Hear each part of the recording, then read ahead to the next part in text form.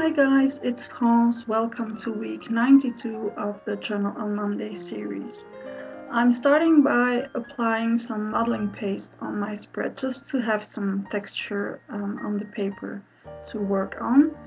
And as a lot of you requested um, that I would work with the new products I received from Lindy's Stamp Gang, um, that's what I will be doing today. And it's just um, exploration of how they work together, what it is you can do with them. So it's a very simple spread. It's far from being my favorite, but I had great fun um, just playing with those products and um, checking how they work together and how they react. So the first product I'm using is the flat shot. And when you buy these, you just have the powder in the jar. You can mix them with hot water or with any medium you want to, which is pretty fun. So you can make um, paint of the texture that you want. So I mixed them with two-thirds of clear gesso and one-third of acrylic glazing liquid from Golden. So I'm applying two shades of the flat shots here. And I'm playing around until I have the shadings and the blending that I want to have. Um, once in a while drying the layers before applying a new layer on top of it. now I know that I want to take uh, some of the paint away afterwards so I have to make sure that I have enough paint on my paper um, before I can go on with the next step that I want to try.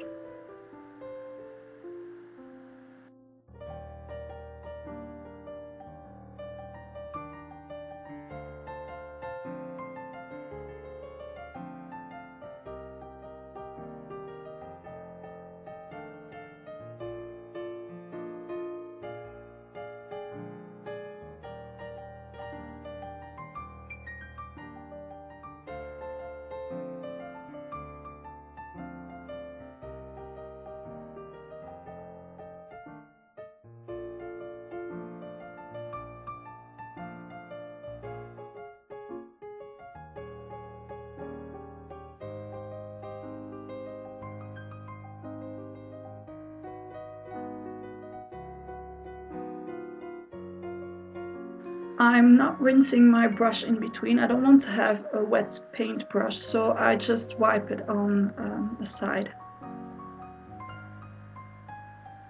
And then making sure that everything is completely dry before I go in with a baby wipe.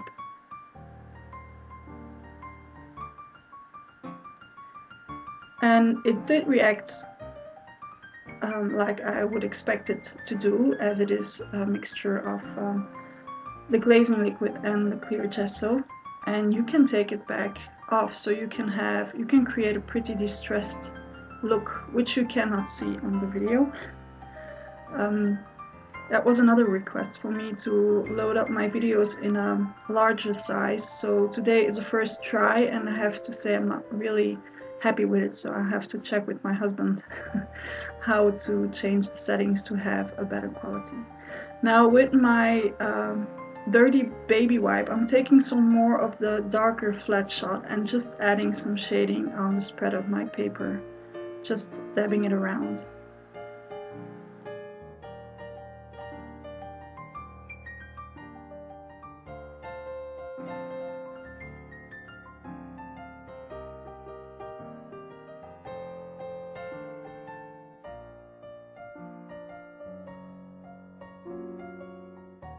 Again, once it's dry, I'm going in with Starburst, which is one of the four uh, sprays from Lindy's Stamp Gang. And I'm just adding some splatters. I know how they spray, I've, I've already sprayed with them. I don't want to alter the color of my paper, so I'm just adding some splatters and dabbing the excess ink away doing um, the edges with that same starburst and as it's pretty liquid I can create some drippage as well So instead of going with distress ink on the edges of my spread, I'm doing it with a darker ink and a paintbrush. Going all the way around.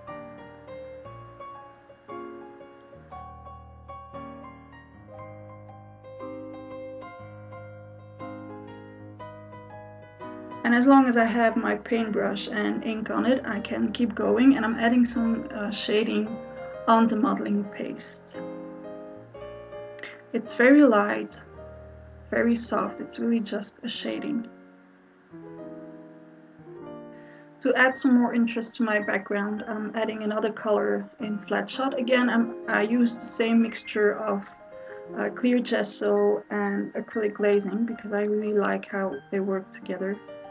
Um, and then blending it using um, a piece of uh, paper towel. So I'm not going back in with a, a wet baby wipe, just a dry piece of uh, paper towel. This is magical powder um, that I diluted in a spray bottle. So this is just a highly pigmented powder. This is another one of the magical colors and this time I'm going to blend it with tar gel. Um, I want to see how it will react if I create some kind of a glaze. So I'm thoroughly mixing up the two products, the powder and the tar gel. And to make it easier for me to apply it on my spread, I add some water to it. I don't want the effect of the tar gel, of the um, uninterrupted stream of color. I want um, a heavy glaze. And then again using a paintbrush I'm applying it on the edges and then I'm spraying some water to slightly move it around. Now in I didn't um, add enough water in my jar um, to make it move. It only moved just a tiny bit. So I added some more water in my little jar for the second uh, try. And here you see it's already more fluid than on the first side. But I really liked how it looked and I really like the effect uh, now that it's dry on the paper. So this is definitely something that I will be using again. And I liked so much that I decided to do all four sides of my spread.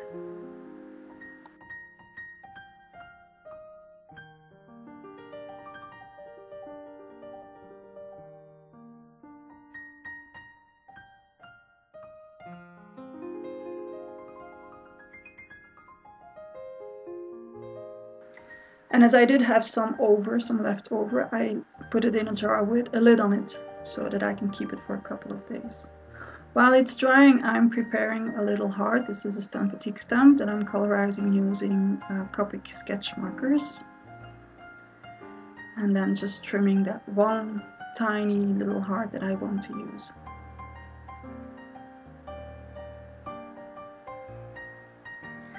I also took out some rusted metal uh, because the wording that I want to add will, um, well, is mentioning rust, so I wanted to have some rust on my spread. Adding some splatters of um, the flat Fabio, just to break down the white of the paper and to make it work with the background. And then stamping with my um, splattered mug Stampotique stamp with VersaFine ink.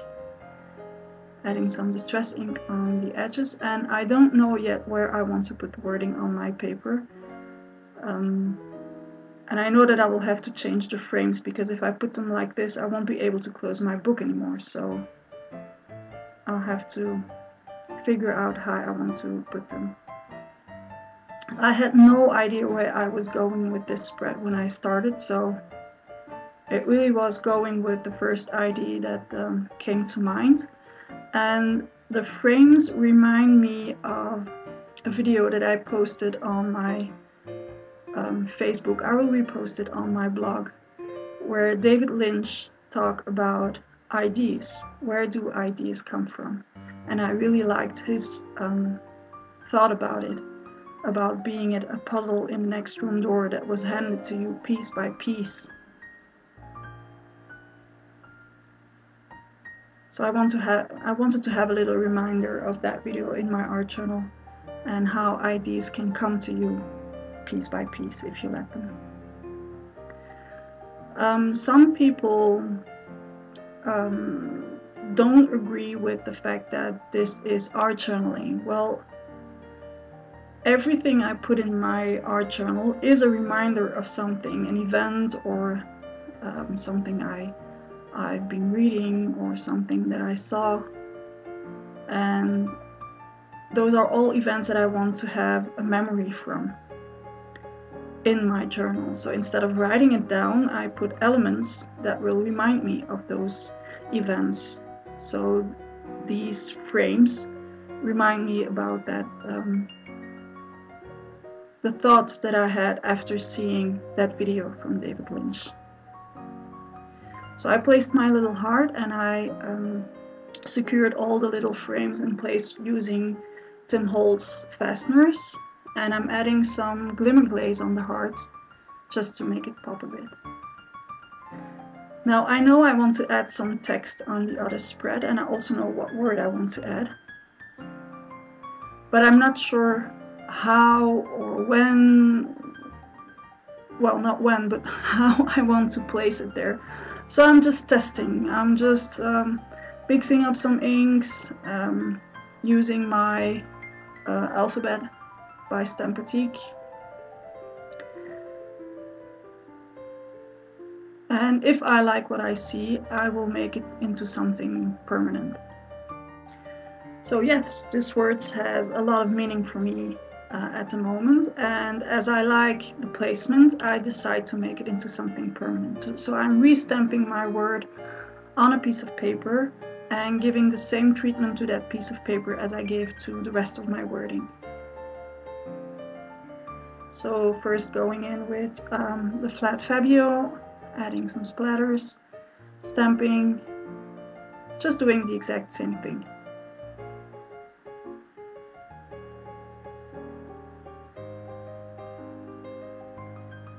This is really one of my favorite stamps that I've designed. I think I use it on everything that I make.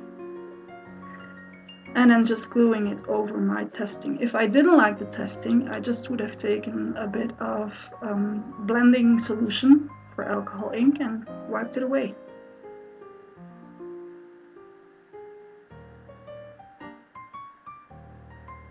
And then just gluing my text in place.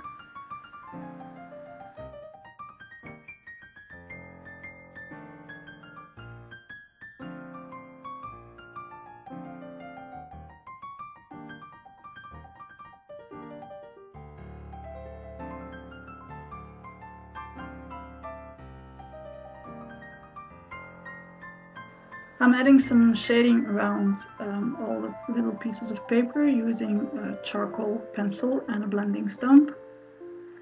And I'm only adding a very, very light um, layer of the charcoal.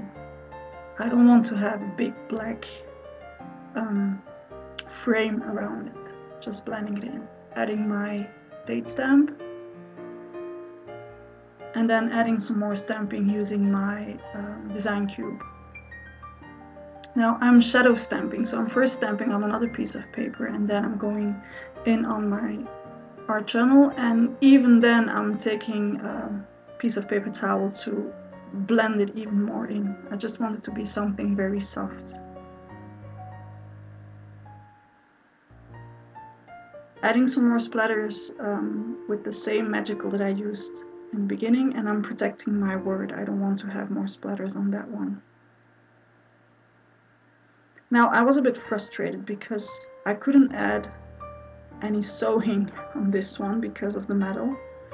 So I decided to add some sewing with metal thread.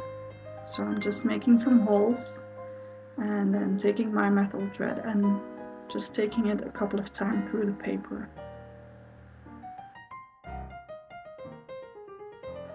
Well, that's it for today actually. Like I said, nothing very fancy, just um, discovering those to me new products and getting to know them.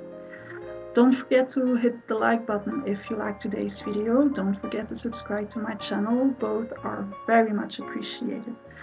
Um, have a happy week everyone and see you back next time. Ta-da!